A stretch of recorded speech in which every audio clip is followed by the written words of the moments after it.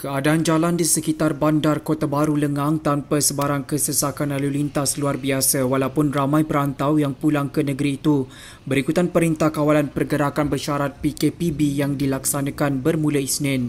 Tinjauan mendapati aliran trafik seperti hari biasa selain tiada kesesakan berlaku di kawasan tumpuan seperti di pasar, tempat membeli belah dan kawasan rekreasi sekaligus menunjukkan Raya Kelantan akur dengan arahan kerajaan. Hampir setiap individu dilihat mengenakan topeng pelita muka dan mematuhi prosedur operasi standard SOP di tempat awam bagi mengelak penularan wabak COVID-19.